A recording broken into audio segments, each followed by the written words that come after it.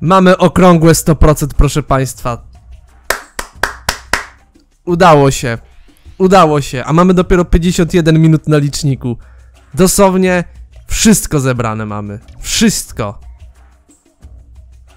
No i teraz możemy, że tak powiem, pójść na sam początek jakby gry i zacząć sobie przeglądać skiny, które udało nam się w trakcie tej gry odblokować. Tak więc zaczynamy od podstawowego crasha.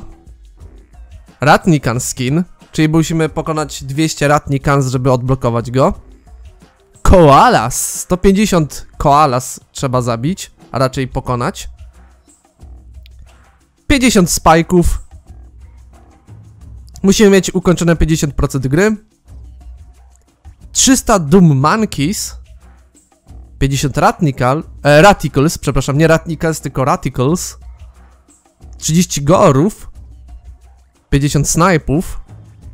Rhino Rollerów. 50 Magma Dooms. 50 stęczy, czyli tych, pamiętacie, skunksowych tytanów. 15 szelefantów. 50 sladży. 15 skorporilli. 35 butlerów. 200 Voodoo Bunnies, 50 elektrików, 150 Brad Girl, 20 Gold Idols. No i to by było na tyle, jeżeli chodzi o skiny do Crasha. Tutaj mamy wszystkie je, które wam właśnie przedstawiłem w zasadzie. No i teraz mamy informację o Arachninie, więc wejdźmy i posłuchajmy. The Arachnina. Nina Cortex's personal suit of mech armor, armed with every evil weapon in her private arsenal, and some new ones she borrowed from her uncle.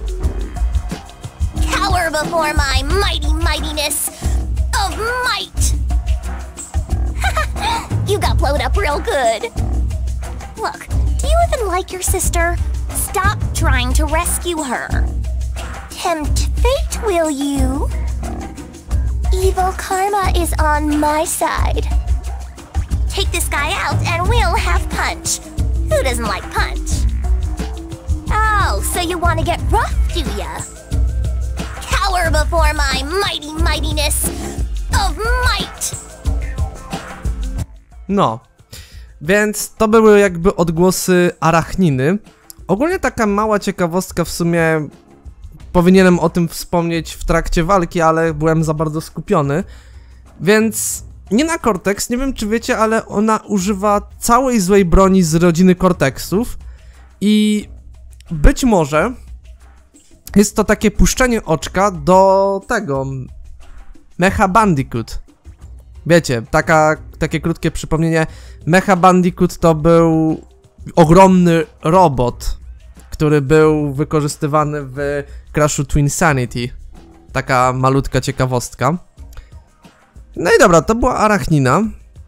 Później sobie koncept arty przeglądniemy i teraz wróćmy sobie do takiego przypomnienia wszystkich bossów, więc teraz czas na Uke Uke.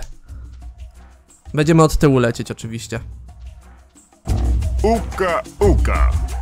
My foolish brother has combined magical Tiki Mojo with Cortex's science to mutate himself. I'm sad to be related to this guy. Stop wrecking my evil plan! Stop ruining my plans! I spent all day on those! Now I'm just furious! I just love being a bully! Quit helping, Crash! It's important you stop! You idiots get in here before I tear you a new belly button! Stop ruining my plans! I... No dobra, to był Uka Uka. Tutaj nie mamy bossa, tutaj też nie mamy.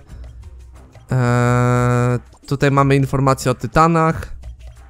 Tutaj też nie mamy, bo w sumie tam z Engine'em walczyliśmy, a jako że Engine nie należy do tytanów, no to tutaj nie będzie informacji o nim. Eee, ty, ty, ty, ty, ty. Czyli w zasadzie możemy cofnąć się do epizodu piątego. Nie, do czwartego. I tu będzie Yuktopus, czyli nasz pierwszy oficjalny boss, z którym walczyliśmy. The Yuctopus. This creature is Cortex's one monster goon squad, capable of stealing every last bit of magic from Wumpa Island and blasting out catchy tunes at the same time. No, i to był Jaktopus.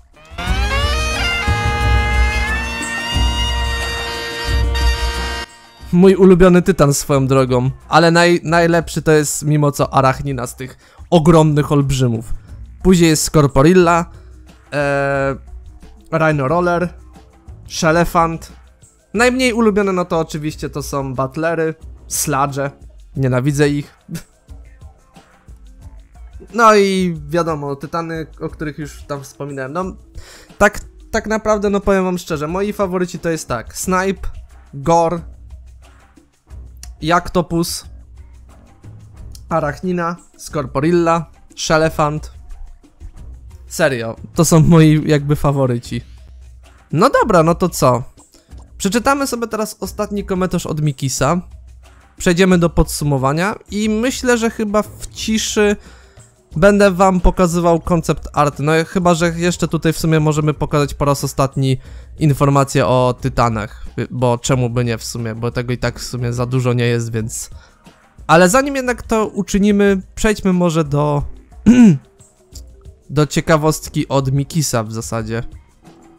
Wiem, że miałem jeszcze przeczytać ten y, komentarz Darka, ale Darek myślę, że się nie obrazisz, że twój komentarz przerzucę na e, Crasha of the Titans na Nintendo DS, dlatego że to jest komentarz bardzo powiązany z wersją Nintendo DS tej gry.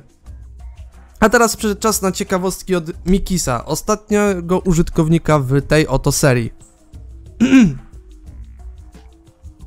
Oczywiście pierwsza ciekawostka jest podkreśleniem tego, że Crash wypowiada swoje pierwsze słowo w całej serii, czyli naleściki, pancakes. W Australii Crash of the Titans było drugą najlepiej sprzedającą się grą.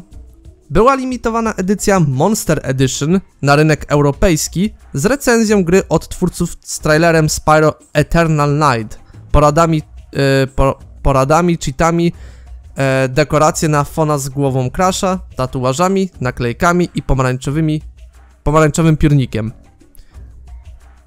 W pierwszym epizodzie w domu Crasha używając klawisz akcji usłyszymy losowy efekt dźwiękowy. No to to jest to, co ja tam jakby nadmieniłem, kiedy Crash wszedł sobie do chatki. Gdy ukończymy grę na hardzie, dostaniemy mocnego kopa, który zabija na jeden hit, nie kiedy dwa hity. Hmm. No być może, być może. W obszarze Emerald Pity można wypaść poza mapę. No i tam w Crash Mind Mutant w obserwatorium Egina można wskoczyć na ramę pewnych metalowych drzwi i cię zablokować. Czyli chodzi o to, że możemy się zablokować. Dziękuję ci Mikis za ten komentarz. Darek, ciebie oczywiście przeczytam tam na samym końcu jakby... Eee, znaczy nie na samym końcu, tylko w Crash of the Titans na DS. Dobra, to teraz przejdźmy sobie do informacji o naszych tutaj tytanach. The Rat Nation. These little guys were created by Uka Uka's mojo and Cortex's science. Luckily for us, they're as fragile as they look. Oh, I could wail into these nerds all day. Science? Hello there. Hellos. Hello there! Heads, rodent attack! Great Caesar salad's ghost! It's a haunted salad. No to to był właściwie informacja o naszych minionkach, ratnikanach, a teraz o Spajku.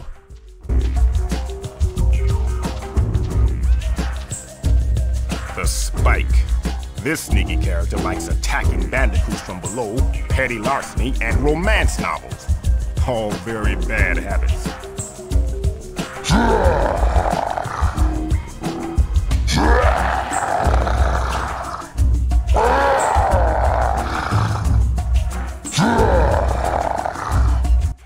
No, to był Spajki. Gor! The Gore.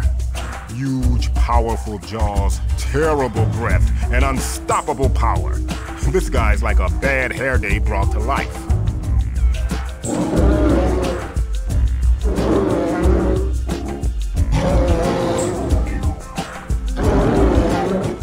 Mój ulubieniec, dosłownie.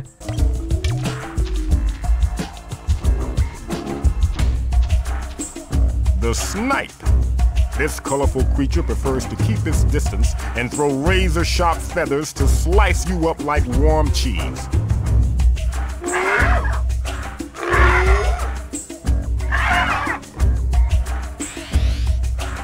To była informacja o naszym snajpiku. Tutaj oczywiście skiny, które już wam pokazywałem. Tutaj mamy póki co ciszę. Tu już pokazywałem. No i co? Czas na Rhino Rollera. The Rhino Roller. This armor plated beast rolls himself into a ball to knock down enemies or even friends that look at him funny.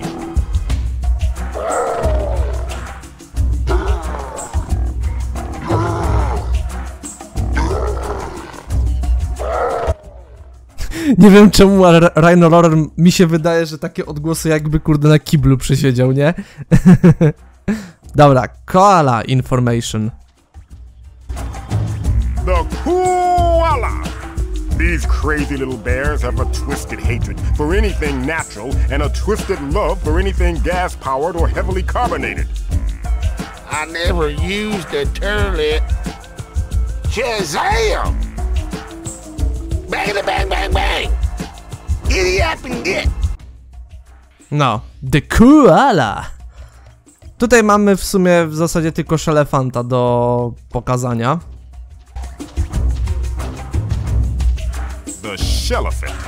Just your friendly neighborhood crab shelled, fire breathing, mojo fueled elephant. Nothing to see here. Move along.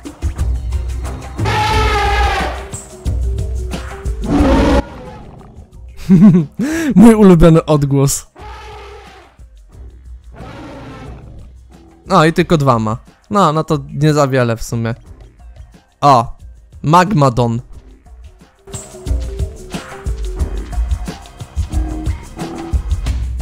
The Magmadon. This hard shelled enemy's skin is strong enough to ignore fire and lava. In fact, I think he kinda likes it.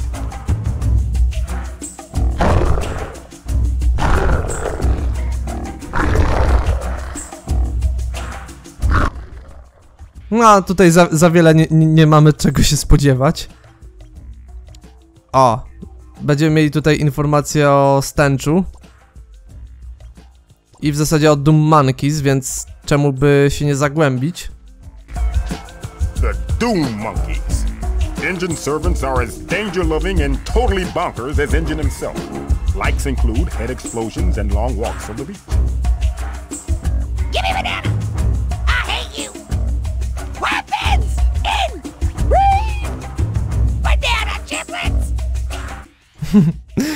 Śmieszne.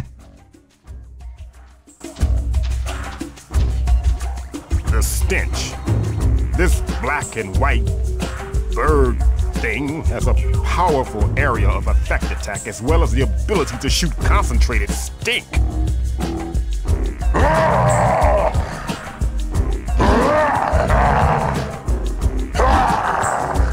Wydaje mi się, że to jest taki odgłos tego e, Snipe'a, tylko że bardziej taki, nie wiem, zremiksowany, jakkolwiek to brzmi. No, tutaj mamy Sludge'a oraz Scorporille, więc najpierw od czegoś lepszego zacznijmy. The Scorporilla. Stay sharp, Crash, and watch out for her gargantuan arms, crushing feet, and her huge scorpion tail. Maybe you should just stay away from her altogether, okay?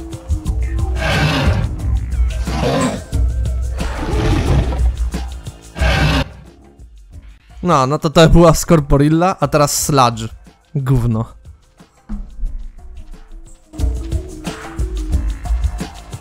This guy is like the common cold come to life. We can take his powers, but I'm not sure I want to touch him.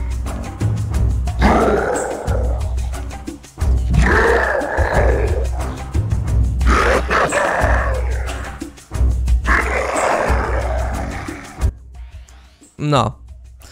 I to by było chyba stąd na tyle. Tutaj mamy spokój. A, sickle.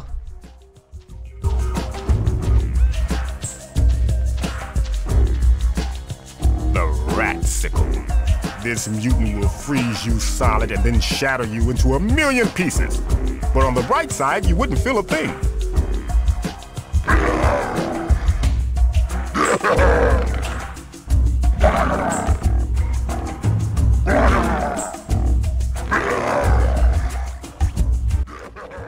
W zasadzie to powinno się czytać The Rascal, tak jak właśnie tutaj Aku Aku przedstawiła, ja to Ratical czytam. Tutaj mamy spokój, tutaj też mamy spokój. No i tutaj mamy Voodoo Bunnies, Butler i w zasadzie to tyle, bo tutaj mamy już e, Voodoo Bunny Skin oraz Butler Skin. The Voodoo Bunnies. Whatever you do, Crash, don't feed them carrots after midnight or get them wet. Trust me on that one.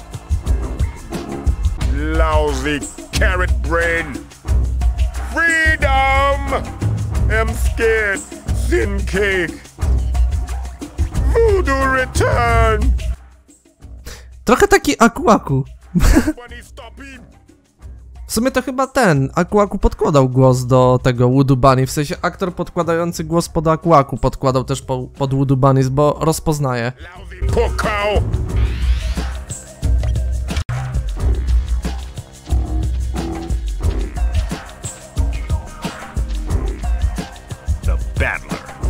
Kung Fu razor claw combos and the power of explosive wind. Hmm. Something funny about that last sentence.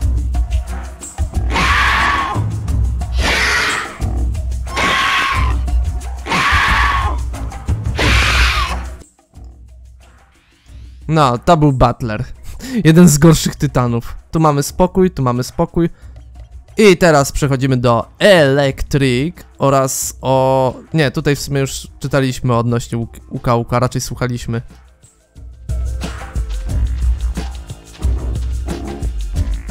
The electric.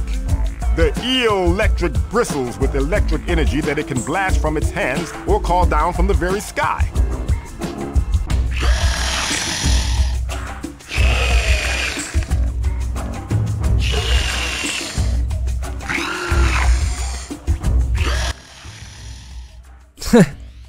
No, Electric.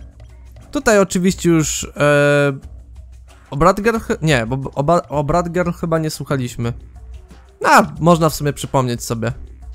The Brat Girls. Every evil queen bee needs some drones, so Nina just grew her own. They're as dangerous as their dress sense and twice as loud. Meddling kids! Toodaloo! The delicious burning! You walking gerbil! We won! Quick! To Daytona! Get him! Please! Tia, mają taką samą manierę jak Nina, tak więc tia. No i to by było na tyle, moi drodzy. Wszystko, co mogłem, to pokazałem. Teraz przejdziemy do koncept artów. Ale zanim przejdziemy, to tutaj chciałbym już powiedzieć krótkie podsumowanie, jeżeli chodzi o grę. Tak więc, Crash of the Titans. Co mogę o tej grze powiedzieć? Świetna gra. Jeżeli chodzi o takie powiedzmy osobne uniwersum Crasha, nie licząc takiej powiedzmy głównej fabuły, to to jest po prostu moim zdaniem świetne uniwersum Tytanów. Mimo, że Tytany dostały po dupie przez to, że to nie był ten sam Crash, to jednak chylę czoła dla twórców, że chcieli po prostu coś nowego stworzyć do tej serii i za to im bardzo dziękuję. Soundtrack w tej grze jest po prostu fenomenalny. Grafika również jest fenomenalna, jakby level design. Bossowie, cóż ja mogę więcej powiedzieć, są w miarę challenge'ujący jak grasz na hard, co zresztą mogłem wam pokazać.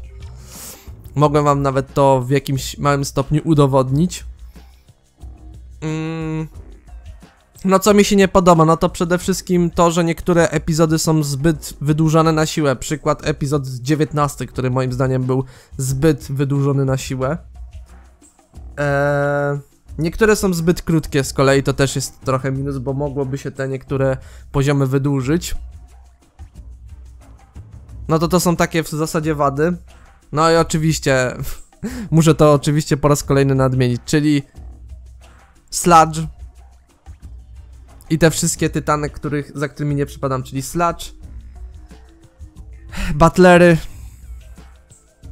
i naprawdę wiele innych, których już w trakcie let's playa mogłem w miarę skrytykować za to, dlaczego je nie lubię. Po prostu są to dla mnie śre- średnie tytany i niezbyt pałam do nich sympatią. Tak samo jak do tych e, strzelających. Znaczy, no z tych wszystkich strzelających, no to Electric jest w miarę spoko, Snipe nie jest wcale taki zły, a... A Stench jest taki nawet, nawet, taki bym powiedział bardzo pośrodku.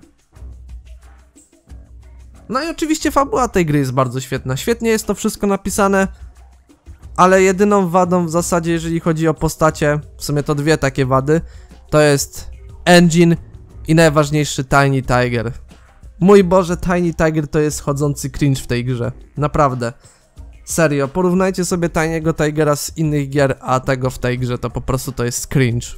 Cringe fiesta. A wam? Jak wam się spodobał let's play? Czy byłem informatywny, czy w sposób ciekawy był let's play prowadzony?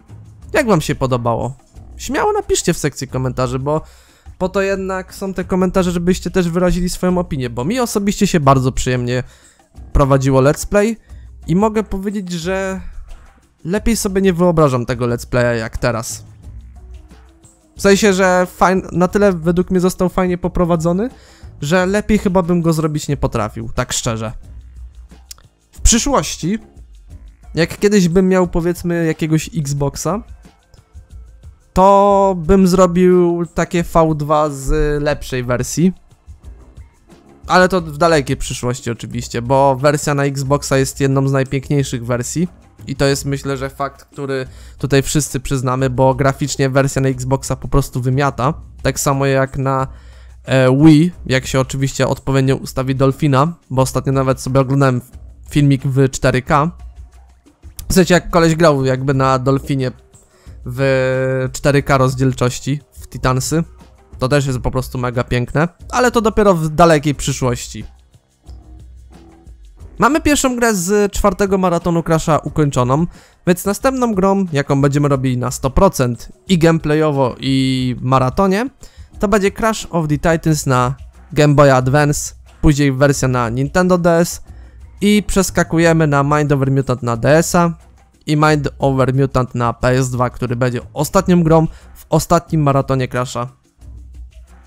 I jedyną grę, którą nie będziemy robili w maratonie na 100% to będzie Mind Over Mutant na DS-a, dlatego że ją najmniej znam. Ale tak to, Titansy na GBA i DS-a będę robił na 100%, ze względów takich, że te dwie gry różnią się fabularnie od konsol stacjonarnych, czyli od tych, tej tutaj wersji, jaką ogrywaliśmy teraz w Let's Playu, czyli wersja na PS2, Wii oraz Xboxa 360. No i cóż, to by było na tyle. Z tą oto muzyką będziemy sobie teraz przeglądali fanarty. Ja się już odłączam.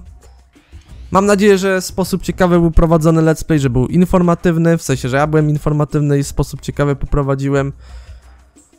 Do osób nowych, jeżeli jesteście nowi na tym kanale i spodobał się content, to zapraszam do subskrypcji, kliknięcia w dzwoneczek, by otrzymywać powiadomienia o wszystkim, co tutaj publikuję, łącznie z live'ami, różnymi tego typu filmami lub, lub innymi seriami.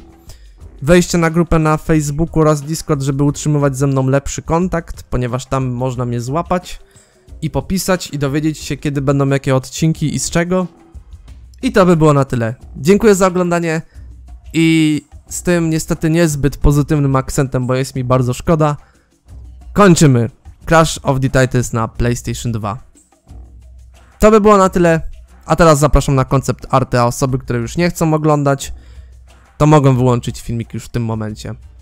Spoiler, koncept arty są naprawdę epickie z tej gry. Trzymajcie się, cześć i na razie. Dzięki za oglądanie. Hej.